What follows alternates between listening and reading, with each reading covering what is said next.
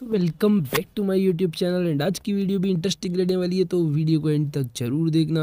And अभी तक आप लोगों ने अगर चैनल को सब्सक्राइब नहीं किया चैनल को सब्सक्राइब करके बेल नोटिफिकेशन को ऑन कर लेना। एंड इसके बाद कल हमारे को V C T lock in में global esports and team vitality का जो मैच है वो देखने को मिला था। एंड जो टीम वाइटलिटी है वो विनर बन गई थी टू वन के स्कोर से। एंड जो ग्लोबल ई स्पोर्ट्स है उनकी जो जर्नी है वो एंड हो गई थी V C T lock in की। एंड सेम चीज़ के ऊपर जो रुशिंद्र सर है उन्होंने एक ट्वीट करा एंड वो आप लोग अपनी स्क्रीन पे देख सकते हैं।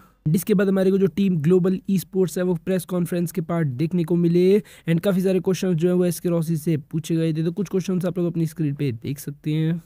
Hi everyone, we are here with the first press conference of the day. We are joined by Global Esports. If you have a question for any of the players or coach in front of you, please use the Zoom hand raise feature. All right, first question from Brandon at Esports GG. Thank you. This is for uh, SK Rossi. You know, leading up to this over and over again, we kind of heard about the impact you had on Indian esports being here, uh, you know, representing the entire country. I would just like to kind of ask what you thought about your performance and if you, you know, in fact, made the impact you were looking for and what kind of doors you might have opened for the region in terms of uh, Valorant esports as a whole. I think uh, this tournament game, I think it was like my 40% potential. I know I can do so much better. It just uh, comes with experience and more games, maybe at these big stages.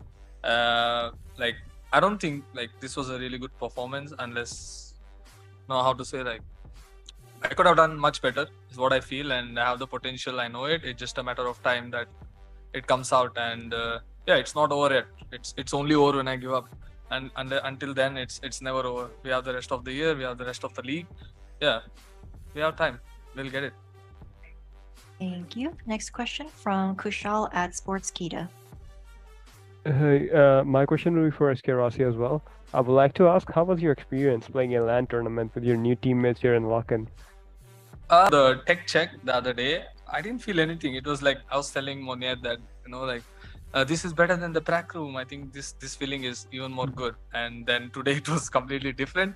Uh, the starting map i was like I, it was completely different for me the entire map. I, I, I was i wasn't feeling myself and round after round you know after the split game and in between the pearl game i was telling teammates that okay guys i think i'm feeling it now. Like round after round i'm getting better. So yeah like our second map was also good. And the third map i think we just gave the momentum and played into their hands. But uh, overall the it was good. It's a nice experience and uh, i wanted more. I want to gain more experience and enjoy playing game. Yeah. Video में आगे बढ़ने से पहले मैं आप लोगों को बताने वाला हूँ वन एक्स के बारे में, जहाँ पे आप लोग प्रिडिक्शन करके पैसा अर्न कर सकते हैं। एंड बहुत सारी रिस्क फ्री प्रिडिक्शन भी आप लोगों को यहाँ पे मिल जाएँगी। एंड अगर आप लोग यार मेरा प्रोमो कोड यूज़ करते हो गेम एक्स न्यूज़ तो आप लोगों को मिलने वाला है वन थर्टी परसेंट का बोनस ई स्पोर्ट्स की न्यूज़ भी आप लोग वहाँ पे लाइव देख सकते हो। तो जल्दी जाओ यार प्रिडिक्शन करो एंड पैसा अर्न कर लो। लिंक आपको नीचे डिस्क्रिप्शन में मिल जाएगा। एंड इसके बाद जो जैर गॉड है उनसे पूछा गया था बीजीएमआई की डेट से रिलेटेड तो इसके ऊपर उन्होंने क्या रिप्लाई करा? वो आप लोग देख लो। लव ब्रो बीजेमआई का सीन ब्रो बीजेमआई आने वाला है ना ब्रो अभी दो महीने में। एक महीने में। एक समथिंग मंथ ऐसा है। एंड इसके बाद जो गॉड लाइक स्पोर्ट्स का चैनल है उस पर हमारे को उनका एक और एपिसोड देखने को मिला जाट एंड रिफ्लेक्सर के साथ। तो इसमें उनसे पूछा गया था कि जो एस वाले हैं उन्होंने ट्रैश टॉक करी थी। एंड इस चीज़ पे उनका क्या रिप्लाई है? तो उन्होंने क्या बोला? एंड इसके बाद जो हेक्टर है उन्होंने बात करी थी एमवीपी स्कैम के ऊपर। एंड इसमें बेसिकली उन्होंने दो टीम के बारे में बात करी थी T W O B and Godlike and साथ में उन्होंने ये भी बताया था कि अगर जो गॉड लाइक के रिफ्लेक्सर है वो अपना पीओवी नहीं देते तो उनको प्राइज मनी नहीं मिलने वाली एंड वो डिस्कालीफाई भी हो जाएँगे। तो वो वाली क्लिप आप लोग देख सकते हैं। उधर? अरे नहीं रे तेरे को निंजा टेक्निक पता क्या होती है? तू चार प्लेयर को हाँ। पकड़ एंड उसको बोल मुझे आगे हर मैच खेल दे। वो भी स्ट्रीम पे भी शोर है समझ जाता तो ऐसे एमवीपी बन जाएगा। तो ऐसे एक्टर को बीट कर देगा। ये होता है उधर की निंजा टेक्निक अबे हाँ अभी उधर तो पूरा ग्रुप बना देते हैं कौन सी और टीडब्ल्यू भी अब बेचारे वो टीडब्ल्यू भी में नहीं रह गए। ओनर से तो बात हो चुकी है? I need a weapon. अबे टीडब्ल्यू का ओनर कौन है वैसे? से निकलवा रहा है। नहीं नहीं ओनर का खुद ही कॉल आया था। क्या कौन से लेटर से स्टार्ट होता है वो तो बता। आर से आर I got supplies. आर से। I need a weapon. And एक और टीम गई गाइस तुम समझ रहे हो? इतनी बड़ी टीम अगर पीओवी नहीं प्रोवाइड कर पाएगी तो कितना शेम होगा ना समझो? तो अगर वो पीओवी नहीं दे तो उनका एमवीपी भी गया 5000 भी गया मेरे को मिलेगा फिर। 5000 जीते तो हम नहीं टूर्नामेंट ट्रॉफी तो आ गई हमारे पास। पाँच हज़ार डॉलर या फिर आए ना? रुपए? मामला भाई ऑब्वियसली पाँच हज़ार रुपए के लिए समझ रहे हैं एक टीम को हर मैच बुला कर चार चार किल लेकर एमवीपी बना गया। I got supplies. कौन सी टीम बुला रही है ऐसे अरे अभी समझ गया मेरे को तो। बस वही तो है। ओके ओके ओके पूरा ओके ओके ज़ोर लगा ओके दिए ओके दो तीन टीम के लिए पूरा गांड का ज़ोर लगा दिए हाँ। फिर भी जीत नहीं पाए जीती एक ही टीम मेरी टीम। जिससे ऑफ़र आया था एक्टर क्या? हाँ जिससे ऑफ़र आया था। कौन रे? पता नहीं पता तू कैसे नहीं पहचान पा रहा है अभी तक एस्पावर भाई तेरा तो ओके अच्छा ओके फिर समझ गया। ऐसे समझ गया।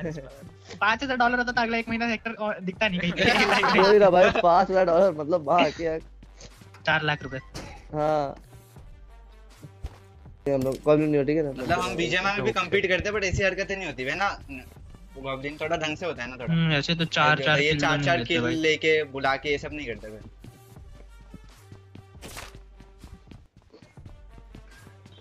हाँ बाप रे भाई गले में दुख रहा है बहुत। मत दिया कर भाई इतना। देख पाँच हज़ार पता है रुपीस तू ही बोलेगा। रिएक्शन दिया गॉब्लिन न्यू स्पॉन अबे पाँच हज़ार भी नहीं मिलेंगे बात ये पाँच। हज़ार भी नहीं अगर पीओवी नहीं आया ना रिफ्लेक्सर का तो पाँच हज़ार भी हाँ। नहीं मिलेंगे। गॉडल बाहर होगी। समझ रहे हो? पाँच हज़ार तो के शेम की बात होगी? पाँच लोग ने हज़ार पीओवी भी नहीं दिया क्या? मैंने पीओवी मांगा था। तू कुठे येतोय इथं हाँ पीओवी नहीं दिया एंड इसके बाद जो गॉड लाइक के रेजर उन्होंने बात करी थी स्ट्रीम पे सेम एलिगेशन के ऊपर उन्होंने रिप्लाई किया था। हेक्टर को तो उन्होंने क्या बोला, वो आप लोग देख सकते हैं। न्यूज़ एंड आगे कोई और अपडेट मिलेगी तो मैं आप लोगों को नेक्स्ट वीडियो में बता दूँगा। तब तक के लिए वीडियो को लाइक करके चैनल को सब्सक्राइब कर देना। एंड साथ में बेल नोटिफिकेशन को भी ज़रूर से ऑन कर देना।